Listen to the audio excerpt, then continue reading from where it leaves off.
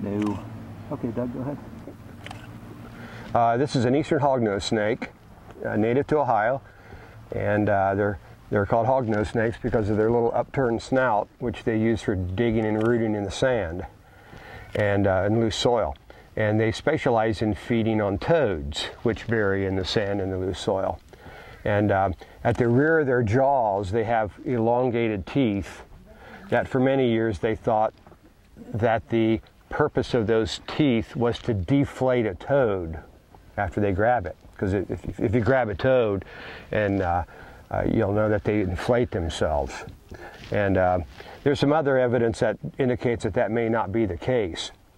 Um, it's pretty unusual to be able to eat a toad because what happens is the toad secretes a, a milky substance from its back, from glands on its back, and that milky substance causes, it's called a bufotoxin, and it causes an animal's heartbeat to speed way up and then slow way down, causing heart arrest.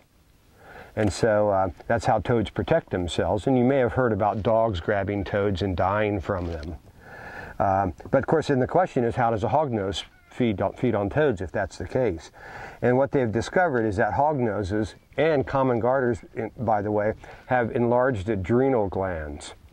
And so what happens is when they grab the toad and their heartbeat speeds way up, that's no big deal. In a sense, it kind of helps them grab, you know, overpower the, the toad.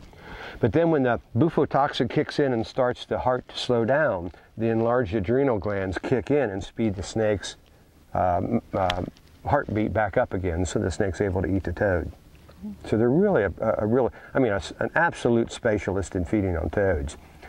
Uh, they're probably most famous because they have this, this uh, uh, act of playing dead. And if, when, they, when you first approach hog noses, they tend to open their mouth and inflate their, or flatten their neck. Yeah. They look like a cobra. Uh, a lot of people will call them things like hissing vipers.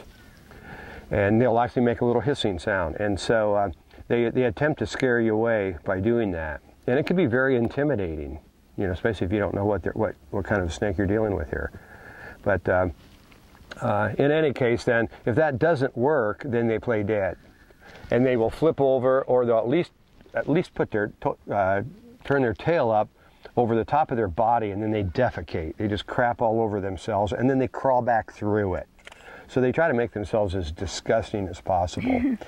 and uh, if that doesn't work, then they'll, they'll sometimes flip over on their belly. Their, their tongue will hang out, their mouth will stay open, um, and they'll play dead. And if you pick them up and flip them over, then they flip back again. And so uh, they're, they're a pretty well known snake for those types of behaviors.